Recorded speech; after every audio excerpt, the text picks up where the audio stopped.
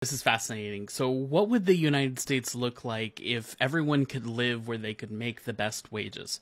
Because apparently, more than half the US is not living where they should be.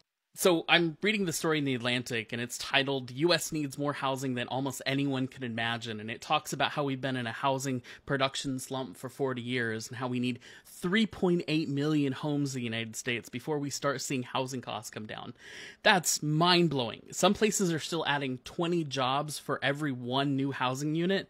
That's not sustainable. So they talk about this paper in 2019 that studied that if Americans could find housing and move to the places where they could make the most wages and housing supply and housing permitting would follow along with that, then 53% of Americans would be living not where they currently live.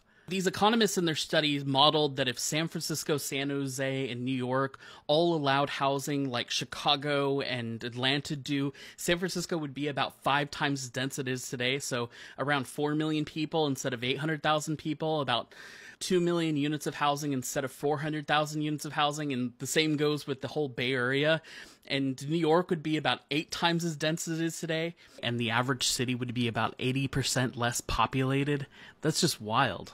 And Americans, just on average, would be making about $3,600 more per year because of that increased density, about $2 trillion more in our economy if we just built our cities better. I mean, for me, this is just more proof that our current housing policies have created this housing crisis, are hurting the economy, and contributing to climate change by encouraging more inefficient sprawl.